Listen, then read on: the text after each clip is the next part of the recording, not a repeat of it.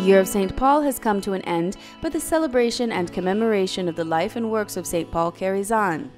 This can be seen in the case of an exposition entitled St. Paul in the Vatican The Words and Image of the Apostle of the People in the Pontifical Collections, which celebrates the closing ceremony of the bicentennial of his birth. It is displayed in the Vatican museums and will be open from June 26th to September 27th.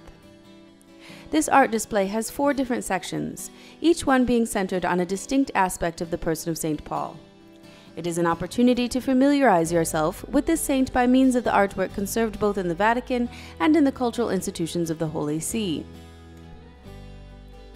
There are approximately 150 works displayed, including marble sarcophagi, paintings, stone sarcophagi reliefs, gold glass medallions with religious engravings, rings, bronze doors, coins, historical documents from that time period, and the life and background of the Apostle of the Gentiles in Rome.